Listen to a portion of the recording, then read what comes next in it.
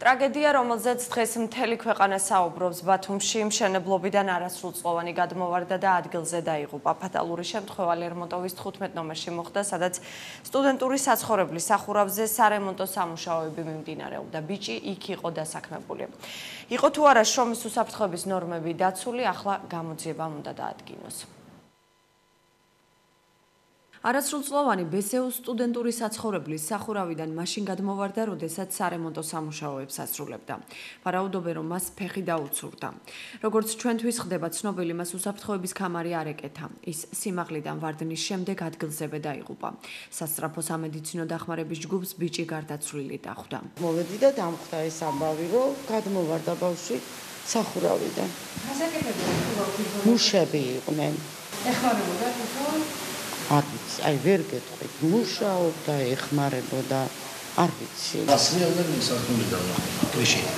როდის მუშაობს ვასაც? რამდენი ხანია მიდის აქ სამუშაოზე?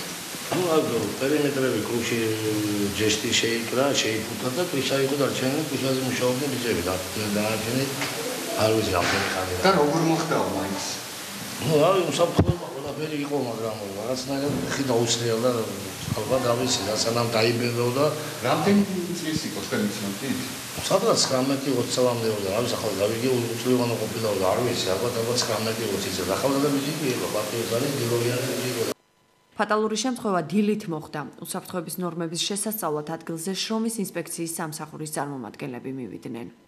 შრომის ინსპექციის სამსახური მოსულია და უნდა დაიწყოს თავიდან ბოლომდე, გაიაროს თუ რაიმე თუ რა მოხდა. და ზეპირად ისე რომ ასე პირდაპირ თქვა რომ რაღაცა მოხდა ასე ხელაღებით ვერ ვიტყვით. უნდა გავიაროთ ყველაფერი.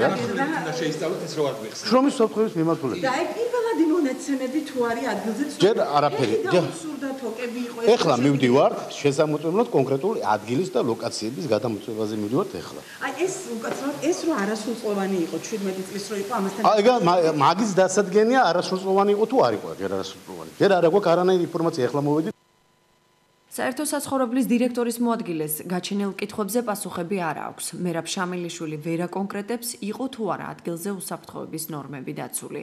იგი ხელს კომპანიისკენ იშვერს. სამუშაოები, გადახურვის სამუშაოები მიმდინარეობდა და მოხდა გადმოვარდა, არ ვიცი, სხვა არა. ეხი დაუცურდა რა. არ ვიცი, არ ყოფილა, არ ვიცი. აწარმოებდა სამუშაოებს და რამდენი ალიგატორი 2001 აწარმოებდა სამუშაოებს. რამდენი ხანია რაც მიშინა? არა, ჩვენთან, ჩვენ არა.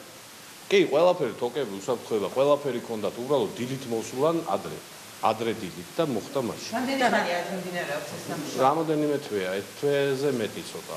და ეს არასრულწლოვანი რო იყო, იცოდით თქვენ არა, არა, ჩვენ საიდან ვიცოდით? არ მოიკითხეთ. არა, ჩვენ საიდან ვიცოდით, არა.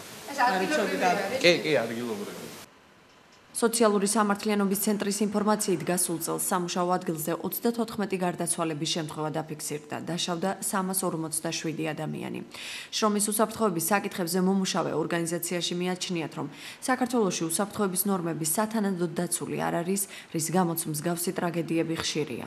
სალომე შუბლაძე ამბობს, რომ რეგულაციების გამკაცრება აუცილებელია. გასულ წელს 34 გარდაცვალების შემთხვევა ჰქონდა სამუშაო ადგილას, ხოლო 347 დაშავების შემთხვევა ასევე საწარმოო შემთხვევის შედეგად. ხო, ეს ციფრები არ მცირდება სამწუხაროდ. ну, რა თქმა უნდა, გვესმის ისიც, რომ შესაძლოა ეს იყოს გაზრდილი მიმართვიანობის მაჩვენებელი, თუმცა ასეთი შემთხვევები გვაჩვენებს, რომ ინსპექცია ვერ ახერხებს ფატალური ინციდენტების პრევენციას და ამ გზით მშრომელების უფლებების დაცვას.